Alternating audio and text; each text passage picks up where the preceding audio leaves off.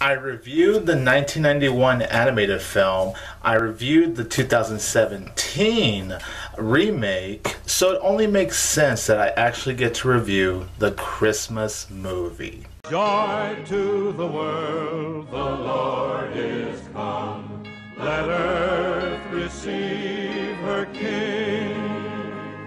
Hey there everybody, this is 22 Tiger Dude here and I'm here to review Beauty and the Beast, The Enchanted Christmas. So Beauty and the Beast, The Enchanted Christmas has most of the original cast from the 1991 animated film Beauty and the Beast. So when it comes to describing the plot for Beauty and the Beast, The Enchanted Christmas, it's kind of pointless because all I can really say is it's just like the 1991 animated film except there's events that happen in between the events of the animated film. You know, Belle tries to change the Beast, she is still a prisoner. Like, I know it's not the best way to describe the plot, but that's really all I could say for this film. Watching Beauty and the Beast, The Enchanted Christmas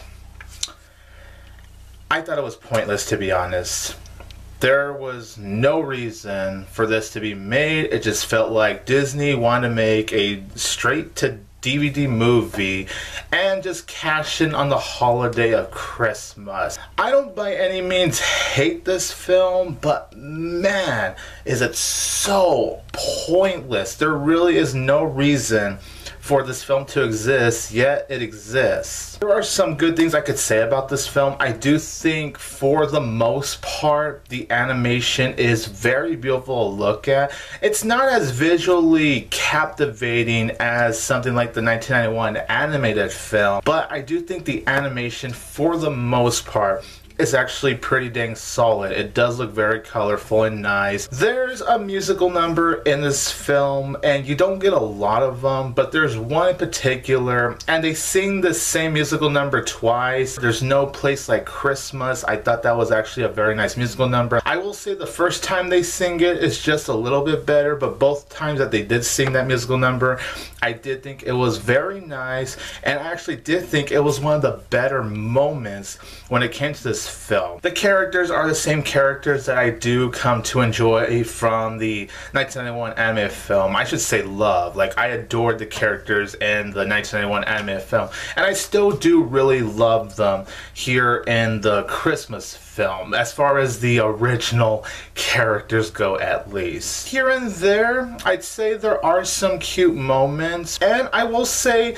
the voice acting is actually very good. I did really like the voice acting.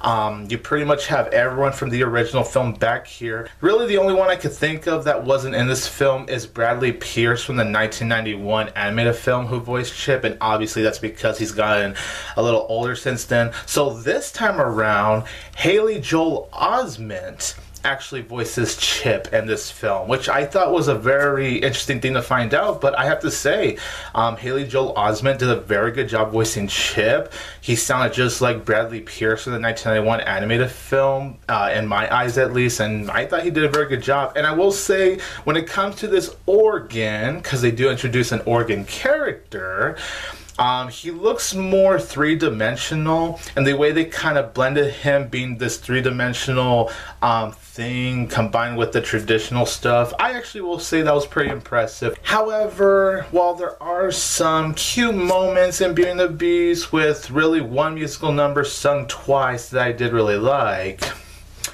as I've said, this really is such a pointless movie because the thing about Beauty and the Beast, The Enchanted Christmas is it's showing events that happen in between the events of the 1991 animated film. To fill in, I guess, the gaps. So we get to see things from this character named Fife who is this flute. And then we see things from the point of view of this organ. So this organ and this flute that we did not see in the original film, they're somehow involved in the story of the original film. It's just kind of funny how Disney expects me to believe that in the events of the original film, a freaking organ, I would say the organ, most definitely has an effect on what happened in the 1991 film, even though, like I said, that organ has no part. The same thing does go with Fife. Otherwise, they would have just included those characters in the 1991 animated film in the first place. And speaking of this organ, he's just your generic Disney antagonist, basically as generic as pretty much any other antagonist you would happen to see in these direct to DVD Disney movies. He's voiced by Tim Curry, and Tim Curry actually does do a very good job voicing him. I will say that. Tim Curry brings a lot of life when it comes to voicing this organ. But when it comes to this organ, all he really does in the movie is convince the beast that Belle just isn't the right one for him, how he should just forget about Belle. The beast hates Christmas and all that.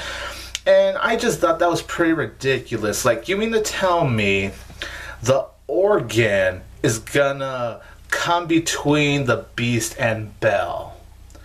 You really expect me to believe that, Disney? I'm not buying it. As far as this fluke character, Fife, I didn't like this character. I actually got pretty annoyed by him. I wouldn't say I downright hated this character or anything. I wouldn't go that far. I just really did not like this character. He was so, so so freaking pointless. There are a few musical numbers in this film.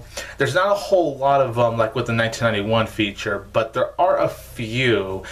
And I gotta say, aside from There's No Place Like Christmas, the other musical numbers I thought were pretty forgettable. While in the animation department, it was nice, just in the flow of the musical number, I really just was not getting into it, to be honest. And, you know, I did mention how most of the animation is really good.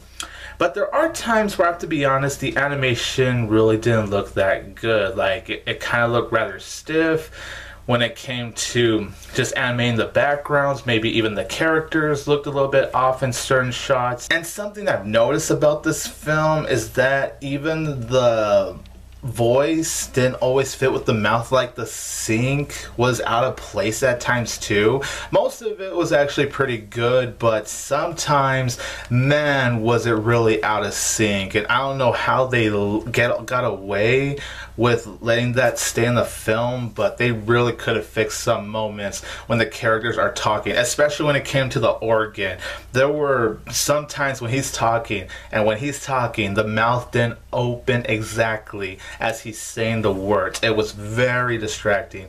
And really, my last criticism with this film is that the climax is pretty rushed and I think the ending of the film in general is very rushed. Not to mention that the story is just so generic. Whereas the 1991 animated film actually had really strong writing that really told its story in such a beautiful manner this anime film's like, let's just go ahead and add these events that supposedly happen in between the events of the original film, even though there really is no point to that at all. Overall, Beauty and the Beast The Enchanted Christmas, I think it's just fine. Like, it's harmless, it's not anything offensive offensive.